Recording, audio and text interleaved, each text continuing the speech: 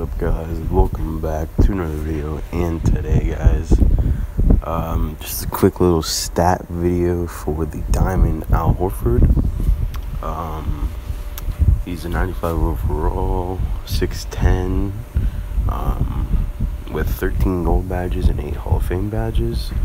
He does have a 94 open shot 3 96 open shot mid a 97 shot close, a 97 standing layup, 95 standing dunk, 95 draw foul, 95 post fadeaway, all that good stuff. He does have an 89 passing IQ, which is actually not that bad.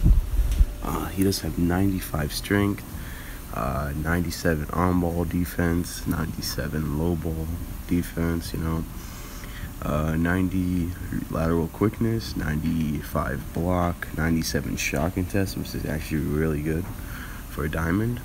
93 uh, defense rebound, 90 box out, 95 potential. Let's look at his badges real quick. Um, does have Hall of Fame catch and shoot, Hall of Fame corner specialist, Hall of Fame mid range Jedi pick and popper, brick wall, defensive stopper, rim protector, and hustle rebounder. For the gold badges, he does have deep range Deadeye, difficult shots, dream like up and under, drop stepper, pick and roller, post spin technician, put back king, break starter, dimer, flashy passer, bruiser, lob city finisher, posterizer, and that's pretty much it. Um, I don't know. Uh, he's probably not going to be that expensive, so you guys need a quick little the budget center.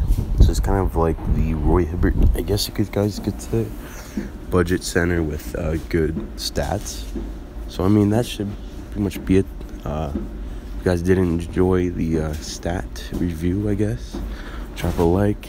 Uh, make sure to subscribe to the channel and comment below what other stat videos you guys want to see in the future. And peace.